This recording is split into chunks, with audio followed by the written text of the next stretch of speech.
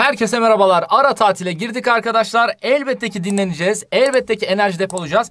Yalnız bunun yanında tabii ki önemli matematik konularını tekrar etmemiz gerekiyor. Ve biz de düşündük ne yapabiliriz diye problemler konusundan tabii ki problematik kitabımızdan sorular seçerek arkadaşlar size destek olmak istedik. Bu dersimizde oran orantı sayı kesir problemlerinden önce bir konu anlatımı, kısa bir konu anlatımı yapacağız. Sonra hemen hemen yan tarafta göstermiş olduğum problematik kitabından mükemmel müthiş sorular çözeceğiz arkadaşlar sizlerle beraber.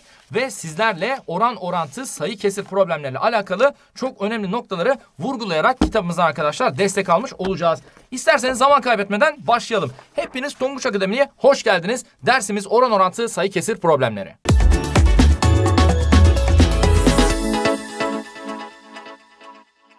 Şimdi dediğim gibi ilk başta önce bir kısa konu özeti geçelim beraber. En az biri sıfırdan farklı A ve B çokluklarının birbirine bölümüne biz A'nın B'ye oranı deriz ve bunu bu şekilde gösteririz değil mi? İki kişinin boylarının oranlanması ne demektir? Aslında boylarının uzunluklarının bölümü demektir. Buradan elbette ki oranımız 14 bölü 15 çıkacaktır yorumunu yaparız.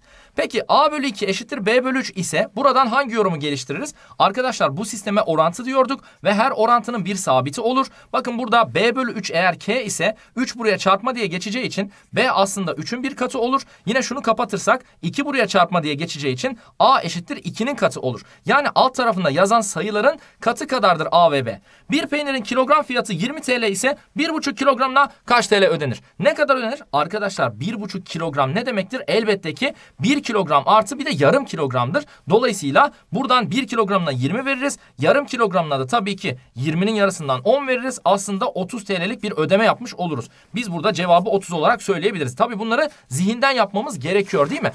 100 kilometre saat hızla 3 saatte alınan bir yol 75 kilometre saat hızla ne kadar da alınır? Arkadaşlar bir kere 100 kilometre saat hızla 3 saat ilerlerseniz 300 kilometrelik bir yolu almış olursunuz. Peki bunu aynı yolu yani 75 kilometre saat hızla ilerlerse kaç saat sürer? Elbette ki orantı mantığını kullanacağız ve diyeceğiz ki yol eşittir hız çarpı zaman olduğuna göre bizim yolumuz burada 300 değil mi? Şuraya yazalım 300 eşittir. Hızımız ne? 75 bu sefer hızımız 75 çarpı zaman t olsun. Buradan sadeleştirme yaparak t eşittir 4 saate ulaşmış olacağız. Yani cevabımız burada 4 saatti. Yani hız ve varış süresi nasıl orantıya sahipmiş? Bakın önceki hızımızı düşürürsek varış süremiz arttı. Yani hız düşünce varış süresi arttığına göre bunların ikisi arasında ters orantı vardır. Yorumunu yapabiliriz. Peki dişli sorularında ne yapıyorduk? Arkadaşlar elbette ki büyük olan dişli küçük olan dişliye göre daha az miktarda tur, atar. Yani dişli sayısıyla dönme sayısı ters orantılıdır diyebiliriz.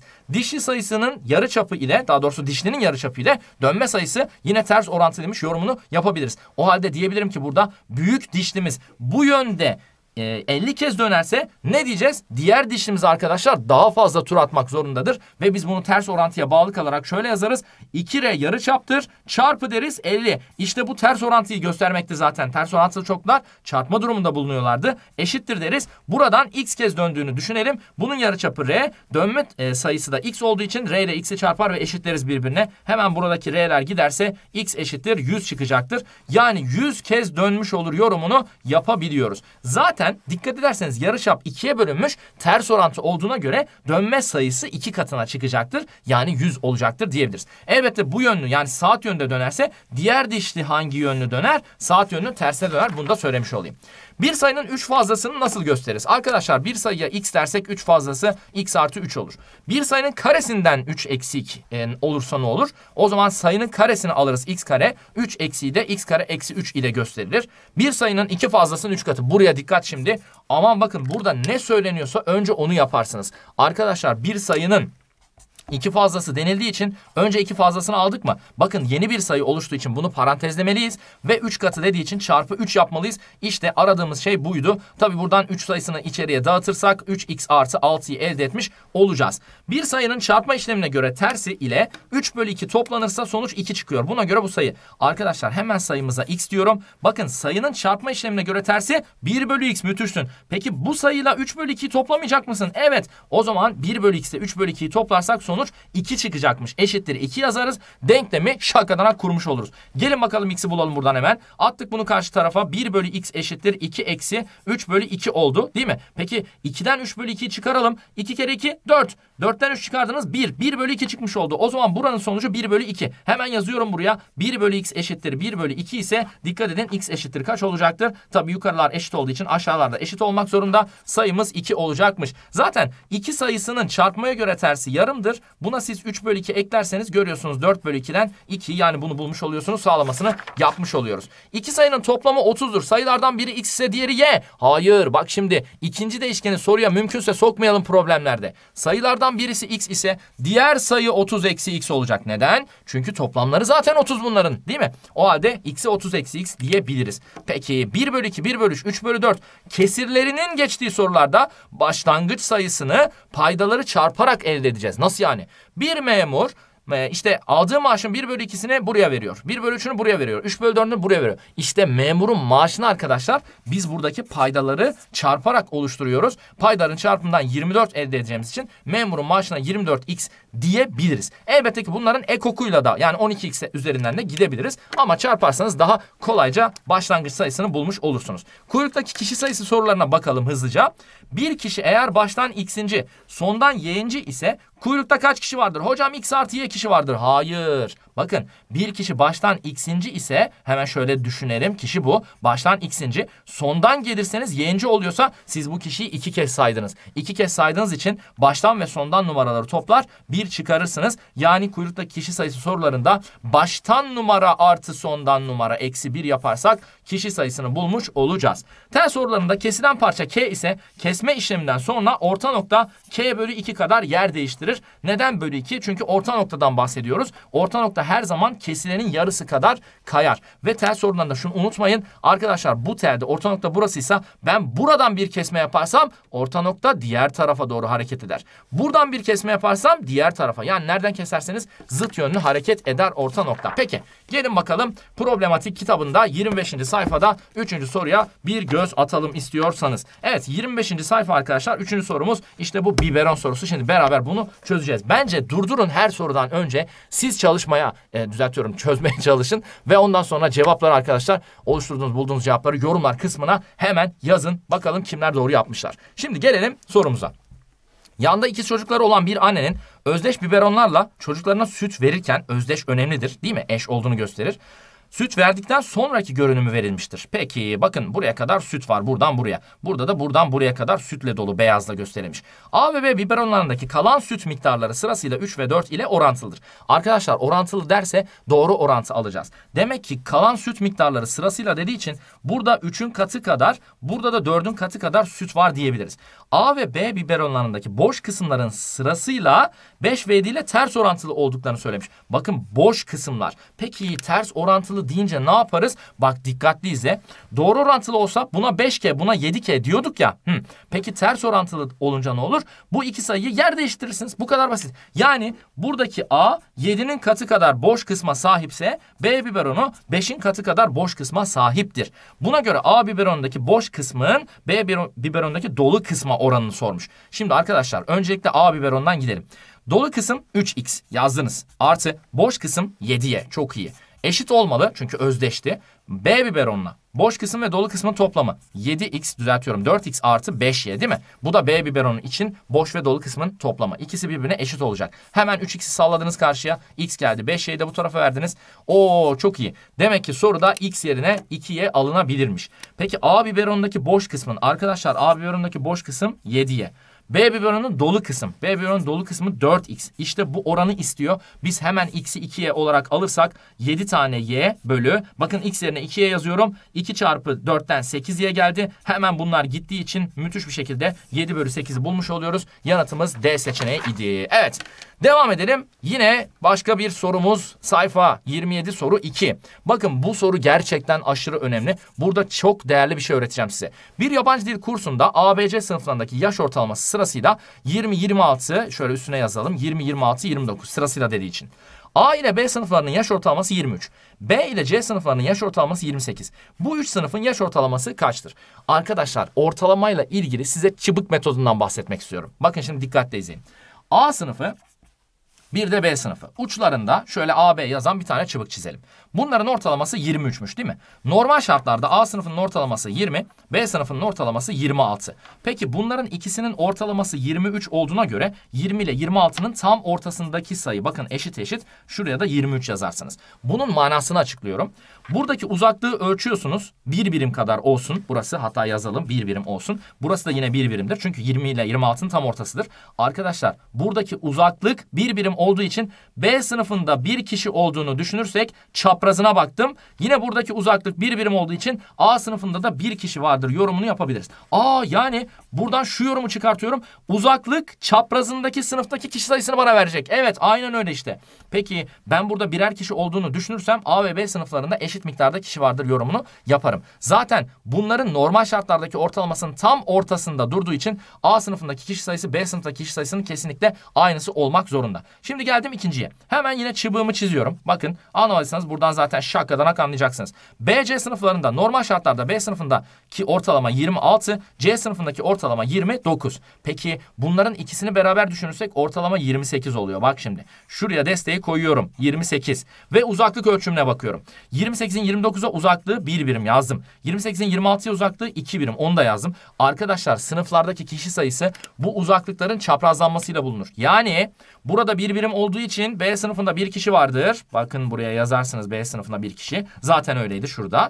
Ve burada iki birim olduğu için A sınıf, düzeltiyorum C sınıfında iki kişi vardır. Yani tam çaprazına yazarsınız. Buraya da iki kişiyi attınız. Şimdi gelelim bu üç sınıfın yaş ortalamasına. Bakın A sınıfında B sınıfında birer kişi C sınıfında iki kişi olduğunu düşünebiliriz. Elbette ki bunu iddia etmiyoruz. Biz sadece oranlarla e, oranlarla uğraştığımız için burada ortalamayı hesaplayacağımız için daha doğrusu buradaki 1-1-2 oranını yakalamaya çalışıyorduk. Tabii ki burada 5 kişi, 5 kişi, 10 kişi de olabilir elbette değil mi? Bir oran söz konusuysa bunlar yeterli. Peki A sınıfında bir kişi var. Yaşa 1 çarpı 20 katkı yapar. Artı B sınıfında bir kişi var. Yaşa 1 çarpı 26 katkı yapar. Artı C sınıfında iki kişi var. Oo çok iyi. 2 çarpı 29 yaşa katkı yapar. Bölü kaç yazacağım? Dikkat et 3 yazmayacağım. Neden? Kişi sayısına böleceğim tabii ki. 1, 1, 2 toplamı kaç yaptı? 4 yaptı hocam. O yüzden buraya 4 yazacağız ki ortalama çıksın. Hesaplayalım arkadaşlar. Burası 20 yapıyor. Burası 26 yapıyor. Burası 58 yapıyor değil mi? Hemen toplayalım bunları. 20, 26 daha 46 yaptı.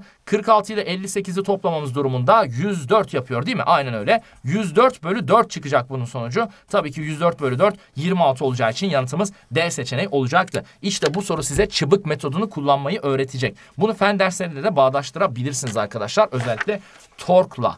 Geçelim bir sonrakine. Furkan Enes Bünyamin 222 TL'yi aralarında şu şekilde paylaşıyor. Enes'in payı Furkan'ın payının 3 TL fazlasının 3 katından 5 TL eksik. Bir saniye. Hemen baş harflerini yazalım. Furkan, Enes, bir de kimdi? Ee, Bünyamin. Aynen öyle. Arkadaşlar bakın Enes'in payı Furkan'ın payının 3 TL fazlasının 3 katından 5 eksik. O zaman Furkan'ın payına biz x dersek Enes'in payı ne olacak? Bunun 3 TL fazlasının işte böyle 3 katından 3 katından ne olacakmış? 5 TL eksik olacakmış değil mi? Enes'in payı Furkan'ın parasına göre bu şekilde şekillendirildi. Bu şekilde e, gösterilmiş oldu daha doğrusu. Devam edelim. Bünyamin, Bünyamin'in payı Enes'in payının e, iki katından 10 TL eksik. Bir dakika Enes'in payını düzenleyelim. Buradan dağılma özelliğini kullanıyorum. Ne oldu? 3x artı 9 eksi 5 oldu. Bunu da düzenlersem hemen üstüne yazayım. 3x artı 4'ü bulmuş olacağım. Enes'i, Enes'in payı bu. Furkan'ın payı da x. Şimdi tekrar şuradan devam edeyim. Bünyamin'in payı Enes'in payının iki katından 10 TL eksik. Bunun iki katını alacağız arkadaşlar. 3x artı 4'ün hemen iki katını alıyorum. Bir de 10 eksik dediği için şu şekilde eksi 10 diyorum. Ne yapacağım? Şuradan 2'yi dağıtacağım. 2'yi dağıtırsam müthiş bir kalem. 2'yi dağıtırsam 6x artı 8 eksi 10 gelir. Bu da ne demektir? 6x artı değil tabii ki. 6x eksi 8 demektir. Düzeltiyorum 2 demektir. Şimdi şimdi dikkat edin. Buradaki paylar x, 3x artı 4 ve 6x eksi 2. Hemen bunları toplayalım ve 222 eşitleyelim isterseniz toplam paraya. Topluyorum x, 4x, 10x. Yazdınız 10x'i. Artı 4 eksi 2 o da artı 2 yaptı mı? Eşittir 222 olmalı. Pekala bunu karşıya atarsak 10x eşittir ne oldu? 220 oldu. Her tarafı 10'a bölelim. x eşittir 22 çıktı. Enes Furkan'dan kaç TL fazla para almıştır? Arkadaşlar zaten x'i bulduğumuz e, için hemen şuradaki farkı da hesaplayabiliriz. Bakın 3x artı 4'ten x'i çıkarırsanız eğer geriye 2x artı 4 kalacaktır. Bunu soruyor soru işte. x yerine hemen burada 22 sayısını yazıyorum. 2 çarpı 22 artı 4 ne olacaktır? 48 olacaktır. Cevabımız B seçeneği ya da ayrı ayrı paralarını hesaplayıp çıkarma yapabiliriz. Bir kumaşçı daha kolay bir şekilde ölçüm yap, e, yapmak için yukarıda uzunlukları verilen tahta parçalarını kullanıyor. 40 ve 60 santim. Bu kumaşçı boyu 12 metre, eni 6 metre olan bir kumaş parçasını 60 santimlik uzunluk yerine yanlışlıkla 40 santimlik uzunluk ile ölçüp yaptığı bu ölçüme göre müşterisine satıyor. Bir dakika dur şimdi. Hemen şöyle bir kumaş parçası çizelim. 6'ya 12'likti değil mi? Aynen öyle. Burası 6 metre arkadaşlar. Burası da 12 metre. Şimdi bunu 60 santimlik çubuklarla ölçecek. Bakın burada santim var. Buradaysa metre var. Bir çevirme gitmemiz gerekiyor açıkçası. Ölçecek fakat 60 santimlik yerine yanlışlıkla 40 santimlik uzunluklarla ölçmüş. Kumaşın metrekare fiyatı 10 TL olduğuna göre kumaşçı müşterisinden kaç TL fazla para almıştır demiş. Önce şunları bir çevirelim isterseniz. Hemen burası 12 metre tabii ki 1200 santim yapacaktır. 6 metrede 600 santim yapacaktır. Arkadaşlar burada ne yazıyordu? Kumaş parçasını 60 santimlik uzunluk yerine 40 santimliklerle ölçmüş. Peki bu insan 60 santimliklerle ölçüm yapsaydı burada acaba ne kadarlık bir maliyet çıkacaktı? Bir kere metrekare fiyatı arkadaşlar dikkat ederseniz 10 TL değil mi? Peki benim kumaşımın normal şartlardaki fiyatı ne kadar? Elbette ki kumaşın metrekaresini alansal olarak metrekaresini hesaplayalım. 6 kere 12 72 metrekareli kumaş var. Yani doğru ölçüm yapsaydı metrekare fiyatı zaten 10 olduğu için 72 çarpı 10'dan 720 TL'lik bir tutar gerçekleşecekti. Ama bakın nasıl bir yanlış yapıyor. Arkadaşlar 60 santimlik çubukları 60 santimlik çubukları 40 santim zannediyor. Peki 40 santimle ölçme yapsa nasıl bir şey olur? Elbette ki şöyle bir şey olacaktır. 600 santimi şöyle yazalım. 40 santime bölerseniz arkadaşlar burada sıfırlar gitti. 15 kez ölçüm yaparsınız. Bu 15 kezi siz aslında ne zannediyorsunuz? 60 santim zannediyorsunuz. Fakat bu 40 santim aslında. O halde ben elimdeki 60 santimlik uzunlukları 15 kez kullandığımı zannediyorum yanlışlıkla. Peki bu hamleyi yaparsam 15 çarpı 60 dersem elde edeceğim uzunluk 900 santim olacaktır. Yani ben 600 santimi aslına bakarsanız 9 santim diye ölçmüşüm. Neden biliyor musunuz? Çünkü bakın 40 santimin dikkat buraya 40 santimin yarısı kadar fark var arada. O zaman 600 santimin yarısı kadar fark olur. 900 santim olur. Hemen diğer tarafı da bu şekilde bulabiliriz arkadaşlar. Normalde 1200 olan uzunluk yarısını eklemeniz sonucunda 1800 kadarlık uzunluk ölçülmüş olacağı zannedilecek. Yani ben bunları da bir de metreye çevirirsem 900 santim 9 metredir. 1800 santim 18 metredir. Çarparsam eğer buradan 18 çarpı 9 ne yapar? 162 metrekare yapmış oluyor değil mi? 162 aynen öyle. O halde diyebilirim ki ben buradan benim yanlışlıkla ölçtüğüm kumaş 162 metrekare. E zaten metrekaresini 10 TL'den satıyorsun. O halde 162 çarpı 10 TL dersek buradan müşteriye 1620 TL'lik bir fatura çıkarırız. Ne kadar fark vardı diyordu. Arkadaşlar 1620'den 720'yi çıkarırsak arada 900 lira fiyat farkı oluşur. Yani 900 lira lira fazla almışızdır diyebiliriz. Pınar ile Seda bir tiyatro gişesi kuyruğunda beklemektedir. Bak gişe soruları, kuyruk soruları. Hemen durdur sen çöz. Yoruma yaz ondan sonra. Şimdi tiyatro gişesi kuyruğunda bekliyor. Pınar baştan x eksi 3. sırada, sondan 3x artı 2. sırada. Seda ise baştan 2x artı 7. sırada, sondan x artı 2. sırada. Pınar'la Seda arasında kaç kişi vardır diyor. Arkadaşlar önce kuyruktaki kişi sayısını bir bulalım. Kuyruktaki kişi sayısı nasıl bulunuyordu? Bir kişi için baştan numara ile sondan numarayı topluyordunuz ve 1 çıkarıyordunuz. Kişiyi iki kez saydığınız için. Hemen kuyrukta kişi sayısı 4x kaç yapacaktır? Eksi 2 yapacaktır. Bu bizim kuyrukta kişi sayımız. Hemen Seda'yı kullanarak yine aynı kuyrukta kişi sayısını bulalım isterseniz. Bu da Seda'nın baştan sondan numaralarının toplamı 2x artı 7 ile x artı 2'nin toplamından 1 çıkarmak suretiyle bulunur. Hemen 3x eksi ne yapacağız? Şuradan zaten 1 geleceği için artı 1 7'ye ekleyeceğiz. Artı 8 olacak. Bu da aynı kuyrukta kişi sayısı mı? Evet hocam. E o zaman bunların birbirine ne olması lazım? Eşit olması gerekir. Aynen öyle. Yani 4x eksi 2'yi 3x artı 8'e eşitleriz. Buradan 3x'i karşı tarafa alırız. x kalır. Eksi 2'yi de buraya alırız. 10 kalır. Şimdi dikkat buraya. Pınar x 10 olursa Pınar baştan 7. Seda ise baştan kaçıncı arkadaşlar? Dikkat ederseniz 10 yazarsam 27. sırada oluyor. Şimdi Pınar'ı şöyle gösterirsek eğer şu şekilde baştan 7. Seda da baştan 27. biraz daha gerilerde 27. Seda Pınar. Bu arada kaç kişi olduğunu soruyor. Arkadaşlar bakın eğer Pınar, e, düzeltiyorum Seda baştan 9. olsaydı burada olsaydı arada bir kişi olurdu değil mi? 9'dan 7'yi çıkarırdınız 2 kalırdı ama arada bir kişi kalıyor. Demek ki aradaki farkın bir eksiği kadar arada kişi bulunuyormuş. O halde ben aradaki farkı hesaplayacağım. Aradaki fark 20 çıkıyor. Bu farkın bir eksiğini alacağım arkadaşlar ve arada 19 kişi olduğunu söyleyeceğim. Pınar'la Seda arasında 19 kişi var. Zaten hata yapıp 20'de bulsanız seçeneklerde öyle bir şey olmadığını anladığınız için tekrar kontrol ederseniz cevabı hesaplamış olursunuz. Devam edelim şimdi. Problem çözmeye, problemlere alışmaya devam ediyoruz. Bu esnada kitabımızdan elbette ki yardım alıyoruz. Burada arkadaşlar test kısımları da var elbette. Kitabın e, buradaki adımlarından sonra her problem türü adım adım incelenmiş ve sonrasında testlere geçilmiş. Şimdi devam edelim. Bir elektrik şirketi yeni düzenlemelerle kullanıcılarına aşağıdaki gibi bir tarife sunuyor. Zaman 18'e kadar gündüz tarifesi. Sabit ücret 22 lira. 5 saati ücretsizmiş. Saat ücreti de 1.2. Bu tabloyu şimdilik geçelim değil mi? Gündüz sabit ücret karşılığında 5 saat, gece sa- gece sabit ücret karşılığında 3 saat ücretsiz kullanım hakkı tanınıyor. Buna göre 08'den gece 1'e kadar aralıksız elektrik kullanan biri kaç lira öder? Maşallah aralıksız hem de. Peki şöyle düşünelim mi? Öncelikle saat sabah 8'den burada bakın 18 yazıyor. 18'e kadar gündüz tarifesi. Daha sonra 18'den gece 1'e kadar arkadaşlar elbette ki gece tarifesi uygulanacak. Peki gündüz tarifesinde kaç saat geçirmişiz? Elektrik kullandığımız saate bakalım. 10 saat. Gece tarifesinde kaç saat geçirmişiz? 7 saat geçirmişiz değil mi? 7 saat. Şimdi bunları tabloya göre hemen fiyatlandıracağız. Gündüz tarifesinde 5 saat ücretsiz hakkımız vardı. Fakat 22 lira sabit ücretimiz var. O sabit ücretimizi yazdık, artı dedik. 10 saat tüketim yapmışız. Zaten bunun 5 saati ücretsiz. E o zaman 10 saatten 5 saati çıkarırsak geriye kalan 5 saatte biz ücret ödeyeceğiz ve sa- saat ücretimiz 1.2. O arkadaşlar o zaman e, ödeme yaptığımız ücreti bulmak için 5 ile saat ücretimiz olan 1.2'yi ne yaparız? Çarparız 1,2'yi. Peki 5 çarpı 1,2 6'ya eşit değil midir? Evet. 6 artı 22 28 TL bu arada ödenen ücret, ödenecek ücret. Geldik gece kısmına. 7 saatin 3 saati ücretsiz. Hemen 7'den 3'ü çıkarıyorum. 4 saat ücretli ve 4 saate 0.75 TL'den ücret yansıtılacak.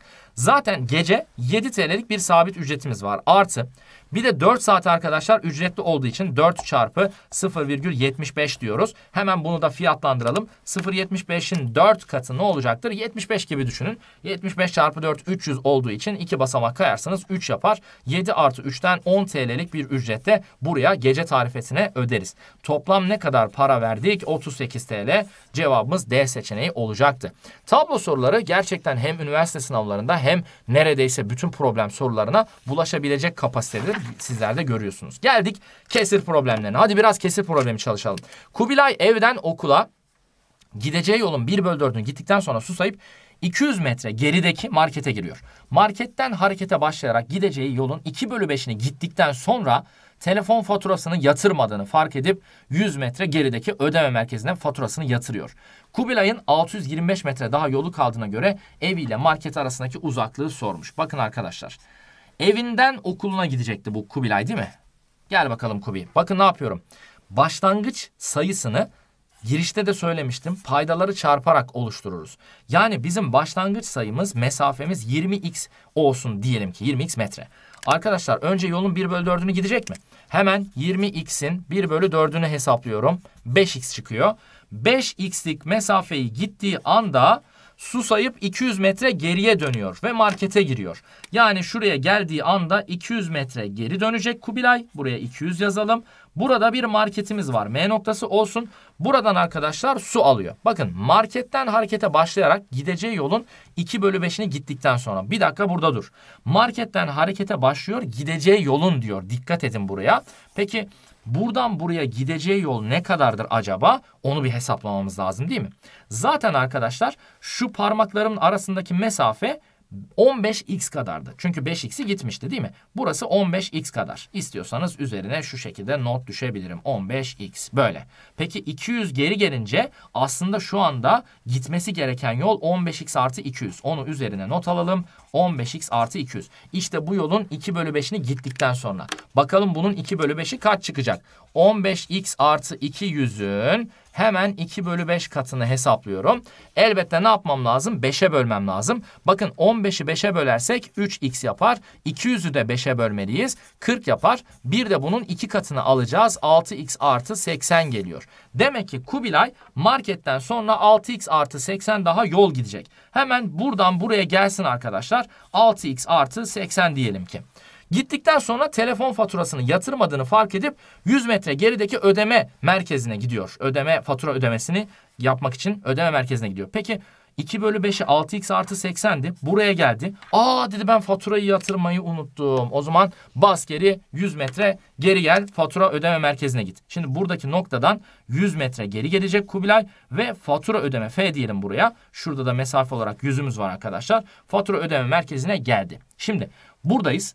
Kubilay'ın 625 metre daha yolu kaldığına göre. Hmm, şimdi bakın. Buradan eğer 625 metre daha yolu varsa şurasının 625 metreye tekabül etmesi gerekir. Peki arkadaşlar 625 metre zaten burası 100 metre değil miydi? Kesinlikle. O zaman 625'ten 100'ü çıkarırsak 525 metrede burası olacaktır. Şimdi biz ev ile market arasını hesaplayacağız ya tabii ki x'i bulmak zorundayız. Dikkat edelim şöyle bir hesap yapabilirim herhalde. Zaten buradan buraya kadar 6x artı 80 değil mi? Onu bir yazalım. 6x artı 80. Bir de şuradaki mesafe var 525. Onu da yazdık 525 diye. Peki ben burayı hesaplamadım mı aslında size şu anda? Aynen. E burası yukarıda yazıyor 15x artı 200. Aa çok iyi. O zaman burayı hemen 15x artı 200'e eşitleriz. Çözelim buradaki denklemi. Bunu karşı tarafa alacağım. 6x'i bu tarafa vereceğim. Ee, arkadaşlar 15x'ten hemen 6x'i düşersem 9x müthiş. 525'ten 200'ü düştüm. 325 80 ekledim 405 çıktı. 9x 405 ise her iki tarafı kaç ile sadeleştiririz? 9 ile gittim bunlar. x eşittir. 405'i 9'a bölüyoruz. 40'ta 9 4 defa 36. Hmm, 4 kaldı. 4 45'te 9 5 defa 45 çıkıyormuş. Yani x bu soruda 45 metreye tekabül ediyor. Bakın biz evi ile ma evi ile e, neyi arasındaki mesafeyi buluyorduk? Market arasındaki mesafeyi. Zaten şurası 5x kadardı. Yani bunun 5 katı. O zaman 5 çarpı 45 yaparız. Karşımıza 225 gelir arkadaşlar. Buradan buraya kadarlık mesafe 225 ise biz 200'ünü düşersek ev ile market arasındaki mesafe olan 25'i bulmuş oluruz. Yanıtımız A seçeneği. Bu sorularda tehlike nerede çalar? Tehlike çanı. X'i buluyorsunuz. Cuk diye atlıyorsunuz hemen. Hayır. Sorulan soruya tekrar dönmemiz gerekiyor. Devam edelim. Yanda farklı maddelerden yapılmış eşit uzunluktaki 3 mumun yandıktan sonra bitme süreleri olan ABC arasındaki oran gösterilmiştir. Burada vermiş. Buna göre aynı anda yakıldık, yakılan 3 mumdan A mumu tamamen bittiğinde B mumunun kalan kısmının C mumunun kalan kısmına oranını sormuş. Arkadaşlar şöyle düşünelim. Bir kere burada bitme süreleri ya A bölü B 2 bölü 3'ten B bölü C 4 bölü 5. Bakın B 3'e burada da 4'e karşılık gelmiş. Olmaz. Bir kere böyle bir sistemde B'nin aynı sayıya bakması lazım ki biz de B'nin kimle doğru orantılı olduğunu anlayalım. Hemen bunu Tabii ki 3 ve 4'ü eşitlemek için 4 ile bu kesri genişletiyorum. Bunu da 3 ile genişletiyorum. Bakın ne oldu? A bölü B eşittir 8 bölü 12. B bölü C eşittir 12 bölü 15. Buradan şunu çıkarabiliriz. A mumu eğer 8 saatte yanarsa, yanıp biterse B mumu 12 saatte yanıp biter. C mumu da 15 saatte yanıp biter. Bunu çıkartabiliriz arkadaşlar. Elbette 16, 24, 30 da olabilirdi. Ben basit sayılar olsun diye 8, 12 ve 15 verdim. 3 mum aynı anda yakıldıktan sonra arkadaşlar A mumu tamamen bittiğinde. Bakın A mumu tamamen ne zaman bitiyor? Kesinlikle 8 saat sonra işte. Ha 8 saat sonra demiş ki adam bana B mumunun kalan kısmının C mumunun kalan kısmına oranı ne kadardır? İşte bunu bulacağız. Arkadaşlar şimdi burada 8, 12 ve 15 sayılarının ortak bir katını yakalamaya çalışalım. Mumların boyunu seçeceğim. Çünkü eşit uzunlukta diyordu bana. Peki 8 ve 12. Geçen seneden hatırlayın değil mi? EBOB EKOK konusundan. 8 ve 12'nin ortak katı 24. 24 ile 15'in ortak katı nedir? Bunu tabii ki çizgi çekerek bulabiliriz. Ama ben hemen yazayım 120'dir. Çünkü 5 katı 120'yi veriyor. Bunda 8 katı 120'yi veriyor. 120'de ilk kez birleştikleri için ben buradaki mumların her birini 120 santim olarak seçebilirim. Bakın 120 santim, 120 santim. Bakın şimdi ise bu mumların bir saatte ne kadar yandıklarının üstlerine ya da altlarına yazalım. 8 saatte tamam bitiyorsa 1 saatte 15 santim yanar. Böldüm. Yine 120 santim 12 saatte bitiyorsa 1 saatte 10 santim yanar. Bu da arkadaşlar 120 bölü 15'ten 1 saatte 8 santim yanar. Yani aslına bakarsanız burada 1 saatteki şöyle not alalım. 1 saatteki yanma e, tükenme miktarlarını hesaplamış oldum. Şimdi A mumu tamamen bittiğinde dememiş miydi bana? Yani 8 saat sonrasını kastediyor. Bakın 8 saat sonra arkadaşlar B mumunda olay ne? 8 çarpı 10'dan dolayı 80 kadarlık kısmı yanmıştır bu mumun dersiniz. Şöyle 80 kadarlık kısmı 80 burası yanmıştır. Geriye ne kadar kalmıştır? 40 kalmıştır. Zaten boyu 120. B mumunun kalan kısmı 40. C mumunun kalan kısmına bakacağız. C mumu 8 saatte arkadaşlar ne kadar yanar? 8 çarpı 8'den 64 kadar yanar. O zaman şurası 64 santim yandı. 120'den 64'ü çıkarırsak geriye 56 kalacaktır. Demek ki C mumunun kalan kısmı 56'dır. İşte bunların oranını istiyordu soru. 40 bölü 56 yapıyoruz hemen. Buradan 8 de sadeleştirelim. 5 bölü 7'yi bulmuş oluyorum. Yanıtımız D seçeneği olacaktı. Bu müthiş soruyu da problematik kitabından çözmüş olduk. Evet dersimizin sonuna geldik. Problemlere tabii ki her gün bir birer videoyla devam edeceğiz arkadaşlar. 6 gün içerisinde problemleri temizleyeceğiz sizinle beraber. Ödüllü sorumuz bu görmüş olduğunuz soru. Hepinizi yorumlara bu sorunun cevabını bekliyorum. İyi çalışmalar. Bir sonraki derste görüşmek üzere.